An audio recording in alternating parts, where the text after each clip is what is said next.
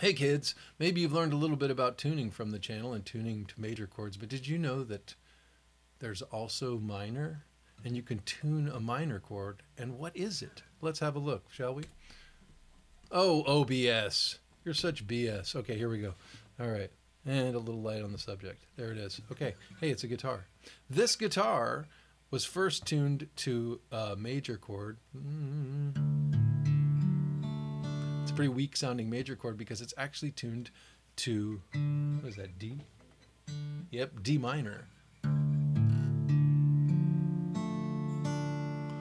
Ooh, it's a beautiful minor triad, which is tuned just like an overtone series, except this now, the third string here, is tuned to a minor third.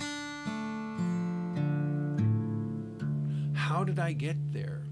Okay, to tune to tune this to an uh, an overtone chord, you would actually tune the third string at the fifth fret harmonic to the fourth string at just behind the fourth fret. You can hear they're not in tune now. Oh, it sounds so nasty and kind of beautiful in that way. How how you how you tune a minor triad pure in just intonation is to tune the third down from the fifth. So you tune the fifth, if this is D and the B string is an A, this is D, A, D, and skipping to the second string, A, D.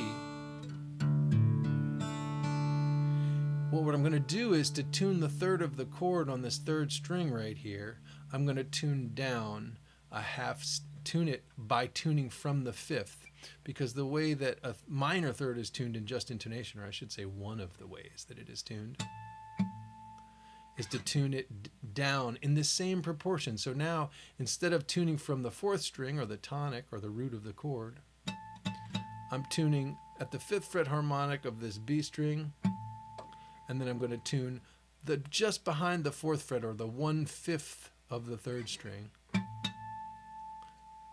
And just for ease of hearing, you can hear the beating there. Brought it flat. And then I'll bring it up slowly.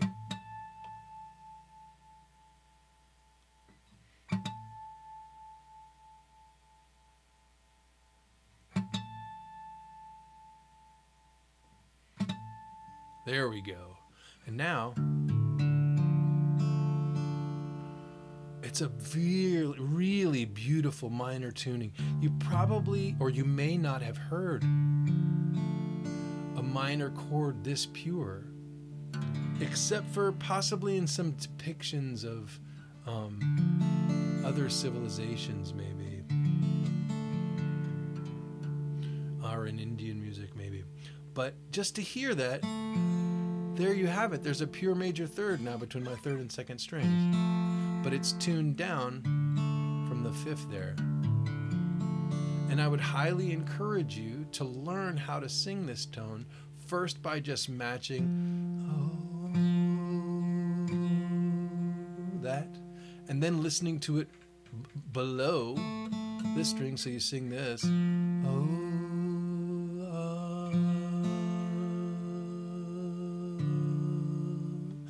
Then hold it when you sound the root of the chord.